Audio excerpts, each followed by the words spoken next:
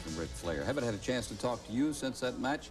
Let's go back and uh, discuss that as, as your point of view of the referee and what happened in it. Uh, let's talk about Michael Hayes and his involvement. What was he like before, during, after the match? Well, Bill, I talked to Michael uh, earlier in the night. Uh, it was a real exciting evening. Uh, he was really enthusiastic about being the referee, being chosen by the people. He thought it was a great honor.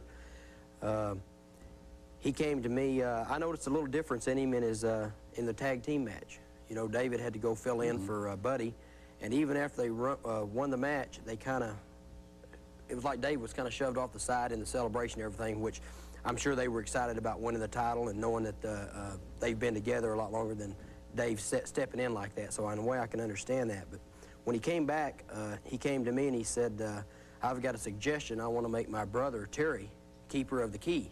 We'll put him at the gate. No one can come in or come out. Well, at the time, I thought it was a great idea. And uh, so I told him, sure, that, that's great. And uh, so we went out, and it's, it seemed as though when the bell rang to start the match, he was a totally different person. He was like a man that was, he was possessed with uh, authority. And he ego, wanted, maybe. That's right, maybe his ego, whatever it was. He wanted to show the people how much power he had inside that ring. Was Terry uh, giving instructions, uh, some, some instructions from the outside looked that way? Yeah, once the match got started, uh, on two or three different occasions, I asked Michael, don't be so physical with a wrestler, especially these conditions. No DQ, the cage. You want to let the match go. You want to let these guys get this thing settled. Keep your hands off of That's right. Unless you have to. Only reason you break a man when he's in the ropes in a cage, no DQ, is if it's hampering, if, it, if it's physically keeping him from breaking the hold and getting loose. So, uh, but, you know, he's telling me shut up. He's very belligerent. I can't yeah. say some of the things well, he, he, did tell me. And, and his brother Terry's on the outside. He's yelling, you got it under control, Mike. Make him do this. Uh, Manning, why don't you get out of the ring, man? Let him handle it. He's got it under control. Uh, knock him down, Mike, uh, whatever it takes. And I think this was kind of just adding fuel to the fire as the match went along. Kerry, it's the first time I've had a chance to talk with you since the heavyweight championship match. How do you feel now? Have you gotten over the effects of that steel door hitting you in the head? well, uh, as everyone saw, it's a pretty good blow there. I'm lucky I'm not dead after a hit, uh, after a hit like that. I was under a 24-hour observation through the hospital, and a few doctors were on my side that night. And I want to thank all those guys right now. But, you know, that night, Michael Hayes and Terry Gordy cost me and the United States and the world the world heavyweight belt, which is something that meant more than anything to me. You know, I talked to my mother on the phone right before that match. And I said, hey, Mom, you know, this is going to be it. It's no disqualification. How can I miss? And she said, son, that's, best, that's the finest present you can bring home to your father. And that's what I want to bring home. And, you know, that's, that's why, what's one reason it meant so much to me, because it's for my dad, and it's for my mom, and it's for all the people of this great state of Texas. You know, I hadn't seen the tape. I don't, I don't, it's not clear in my head just what's happened. But I don't know, we can roll the monitor and let's see the tape. Yeah, we, then I'll, we've got a couple of things, understand. of course, that Michael Hayes was involved in. It really cost you uh, dearly in it. And of course, you had the championship, except right here, when the claw came No on. excuse for this right here. Look, he's three feet, I mean, he's, he's three inches from the rope right there. David Manning, I heard him say, don't, don't pull him off. He's not in the ropes. David Manning said it three times. And Michael Hayes seemed to want to take an individual control of the match. You get him so involved, a good referee doesn't get that involved.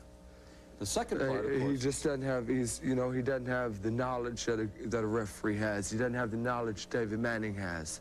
When David Manning said, "No, let it go," Michael Hayes should have said, "This guy is the dominant referee. This guy is the, right. yeah, this guy is the head referee. Listen to him." Michael Hayes wanted to do it his own way. We just found out how Michael Hayes and Terry Gordy really are. Can we see the rest of this? Yeah, let's, let's uh, see the fact now. The steel door you had tried to stop Michael Hayes from leaving. I've heard nothing about this. Right here, I'm trying to stop him. Right, because I'm trying, but he shoves you back because he's all hot because Terry Gordy fired him up, and boom! Now he's saying I'm throwing him out of the ring. I didn't do that. Now see that? Can we run that back one more time? Yeah, we can take a look at it in a moment. Terry Gordy says, uh, in effect, that he was controlling the door, keeping you from leaving, uh, keeping oh, anybody oh, from going in. the key. But yeah. keeper of the key. But uh, it seemed like that was undue force and used in that time. Hey, there's no excuse for what just happened. I mean, Michael Hayes was supposed to be the referee. Everyone trusted in Terry Gordy to keep the key. And And now here they come blowing it. I mean, that's their nature. I mean, that's the way they were in Atlanta. Maybe and now this is way they are now. That's their. That's right, Bill. That's their ego. I mean, we're, me and my brothers are the best six-man tag in the United States. Now that they got Buddy Roberts, they're the, one of the best six-man tags in the United States.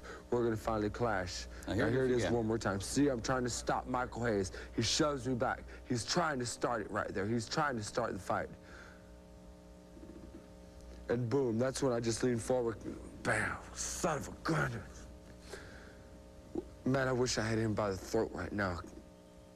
Well, Terry Gordy certainly had uh, the deciding uh, move in that match and slamming that door in there. After Okay, you well, Terry Gordy was the instigator.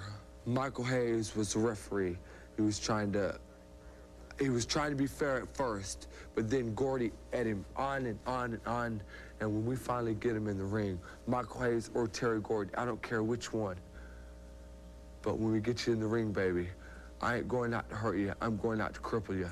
And I guarantee you that.